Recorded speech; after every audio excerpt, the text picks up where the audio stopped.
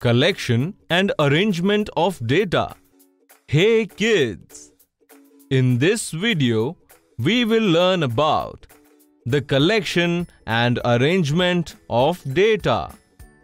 Come, let's take you to the jungle where the wise owl is waiting for some animals. Every day, they learn some new things from the wise owl. Oh, here you come. How did you all get so late today? Chiku was playing, Bhalu was trying to steal honey, and our was sleeping. And Chichi was studying. Okay, let's learn something new today. Do you want to play a game? Yes, yes. So, kids, here is a dice. Now, all of you will roll the dice five times. We will write down the numbers you get on rolling the die. Okay. I will roll first. One, four, six, two, two. So, Chiku got these numbers on the dice. Now, Bhalu, it's your turn. Okay. Two, four, five, five, four. So Bhalu got these numbers on the dice. Now Chichi and Saloni turn-wise roll the dice and see what numbers you get. One, one, three, four, six. Five, four, five, six, six.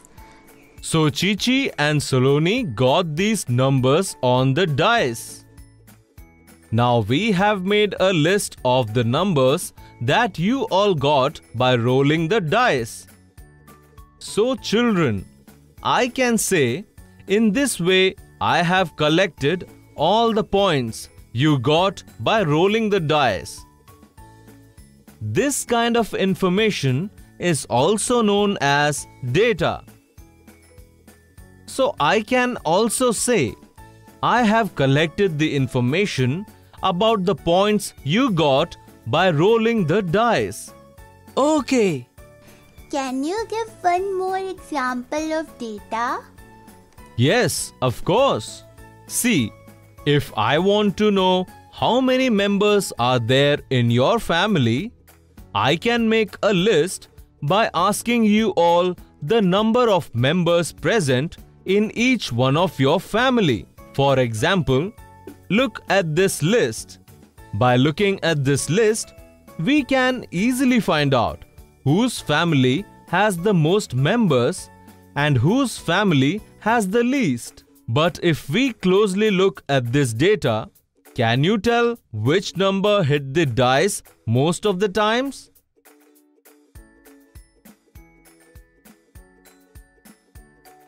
What happened? Why are you taking so much time? Because we have to first check how many times each number has hit the die. Perfect. And for this, we can arrange and write our data in this way. Like we got 1 for 3 times, we also got 2 for 3 times. And like this, we can write for different numbers. Oh wow! You have made a different set for all the numbers. Perfect. First of all, we made a collection of all the numbers. And did you notice how I have arranged all the numbers from 1 to 6 in a way that makes easy to gather the information.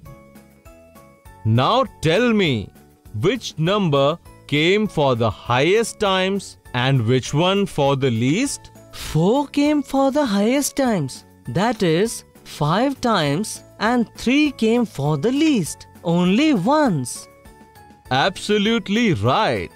So kids, in this video, we have learnt about the collection and arrangement of data.